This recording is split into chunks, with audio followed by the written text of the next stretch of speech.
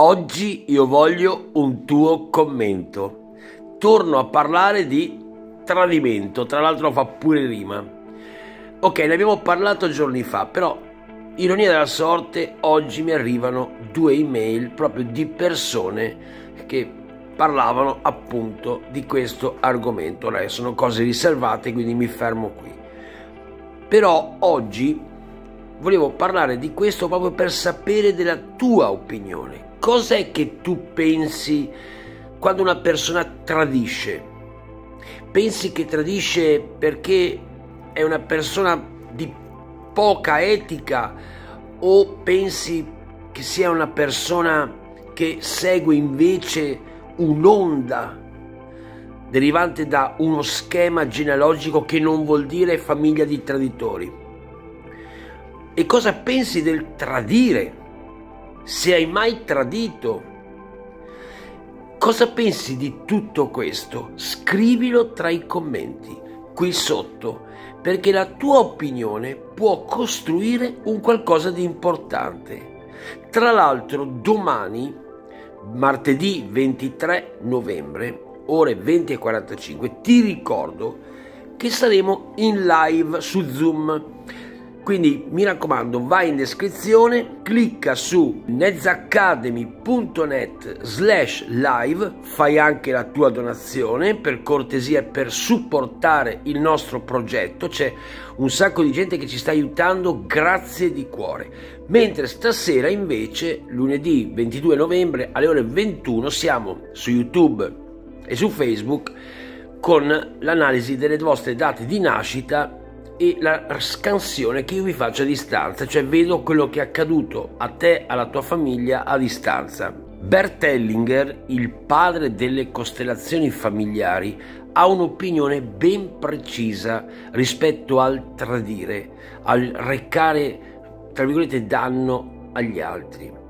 Io negli anni ti dico, ho riconosciuto determinati schemi che ti assicuro che si ripetono sempre, sono sempre gli stessi. Personalmente, come la vedo?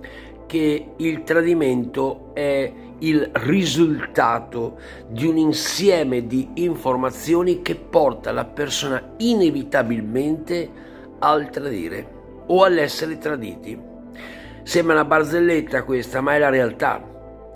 E poi come comportarsi di fronte a un tradimento? Va raccontato o non va raccontato? Poi la persona che ha tradito va messa alla forca oppure va perdonata. Perdonare serve a qualcosa? Quindi commenta e poi ricordati domani, qui c'è la locandina, come mettere in ordine il tuo albero genealogico. Dobbiamo insieme capire come venirne fuori rispetto delle dinamiche. Se tu hai un obiettivo, Ricordati sempre, tu lo puoi raggiungere, ma devi sempre scoprire cosa sta dietro che lo sta bloccando. Se hai ad esempio un socio che ti tradisce, se hai un collaboratore che ti tradisce, credi che io nella mia vita non abbia avuto situazioni di persone che mi hanno tradito nel lavoro? Ne ho avute, non ti preoccupare che ne ho avute. E quindi so cosa vuol dire ma so anche come è nato tutto quello. Ho scoperto lo schema. Il fatto è che ci sono a volte schemi che tu ancora non hai compreso e quindi tutti insieme dobbiamo comprendere di più questa realtà che ci sta attorno. Quindi mi raccomando, dammi la tua opinione, ma non essere cattiva, ti prego, come cattiva o cattivo nella risposta perché non costruiamo niente con la cattiveria, non deve diventare un video dove sfoghiamo le nostre rabbie, ma piuttosto come secondo te il tradimento si comporta eh, dentro il nostro inconscio, dentro la nostra testolina. Bene, ti aspetto stasera quindi in live su YouTube su Facebook e domani su Zoom. Un abbraccione grande, grande, grande, grande dal vostro fabionezzac.net e dal nezzacademy.net slash live. Ciao!